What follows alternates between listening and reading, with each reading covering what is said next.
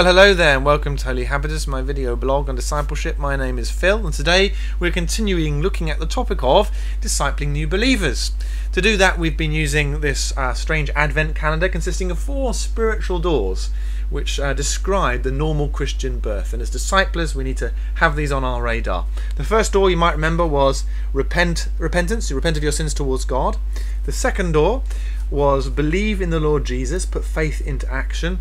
And the third door is this be baptized in water. This is a key thing we need to help new disciples to think about and to do.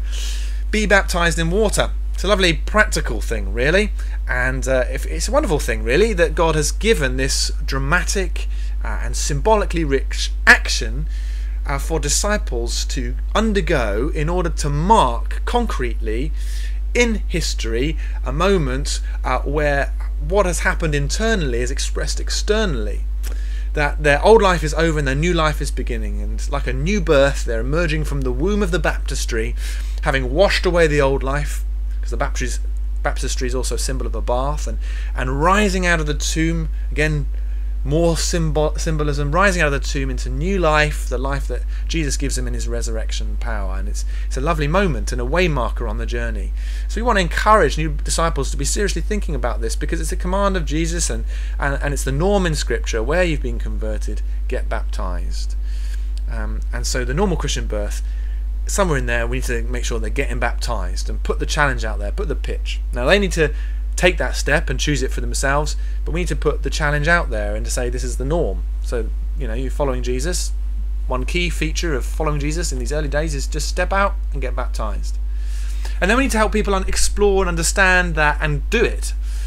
So that might involve, it is us in my case, I try to do a few sessions with them, unpacking the theological significance and meaning of baptism, uh, Mark 1, uh, repentance um, as washing away the, the, old life, but also Romans 6 and participating in Jesus' death and resurrection and how they're rising to a new life and all of that rich stuff to explore so that their, their baptism is a meaningful and significant uh, occasion for them.